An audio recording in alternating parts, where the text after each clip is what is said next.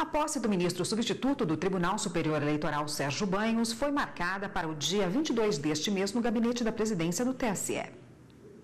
Sérgio Banhos vai preencher a vaga deixada pelo ministro Admar Gonzaga, que em abril se tornou ministro efetivo do TSE. A nomeação de Sérgio Banhos foi feita pelo presidente da República, Michel Temer, e publicada no último dia 10 no Diário Oficial.